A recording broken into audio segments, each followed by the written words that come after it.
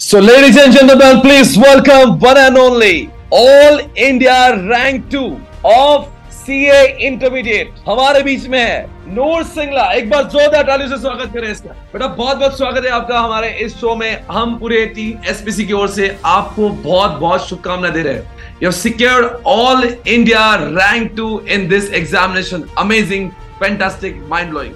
Please हम चाहेंगे please introduce yourself. Thank you so much, sir.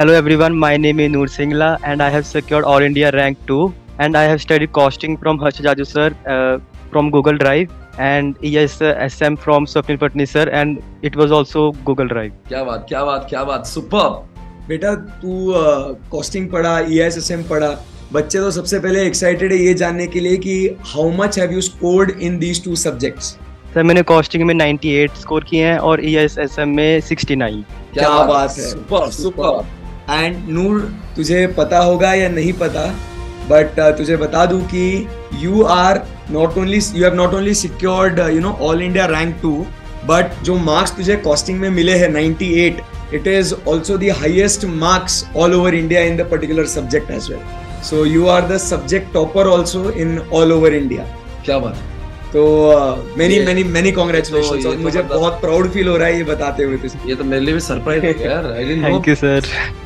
और मैं तो I am really feeling very happy that my student has scored this much and you studied ESM from me तो थोड़ा समझना चाहेंगे how was your experience with ESM and costing कैसा महसूस किया आपने?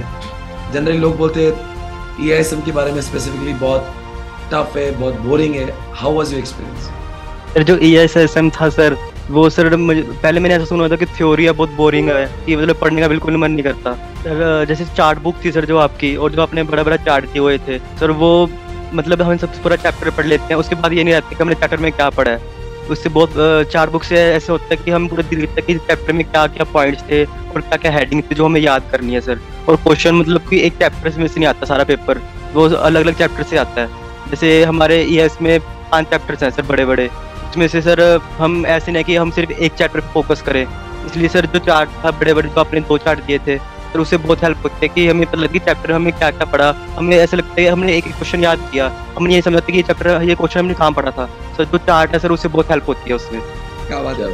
यही बहुत सारे बच्चों का सवाल है और डायरेक्टली आज प्लेटफॉर्म पे, इस प्लेटफॉर्म पे आपसे पूछते हैं कि would you recommend SPC to your juniors who are interested in doing CA intermediate exams as well as CA foundation क्योंकि you are a student in foundation as well so yes sir मैंने sir SP से पढ़ा है sir सारा जो sir practical knowledge है sir मुझे sir बहुत हेल्प हुई है सर अगर मैं फिर से, अगर मुझे अगर फिर करना पड़ेगा सर इंटरमीडिएट और फाउंडेशन तो मैं सर एसपीसी से ही लूँगा.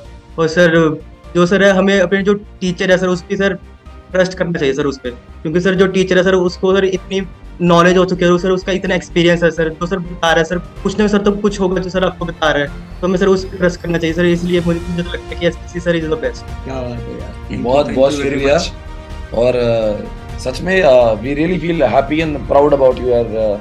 आप में कुछ तो बात है क्योंकि ये संजोग नहीं हो सकता। All India rank one and then all India rank two ये बहुत बड़ी बात है। आप बहुत बड़ा व्यक्ति बनो यही हमारे दोनों की आपसे बहुत चाहत है। क्योंकि आप में तो क्षमता है, आप, हम आपको इंडिया के उन टॉप प्लेयर्स में देखना चाहते हैं। क्योंकि नूर सिंगला बहुत कम टाइप के लोग इस इंडिया में हैं। आप इस बात को दिमाग में रखें, बहुत आगे जाएँगे।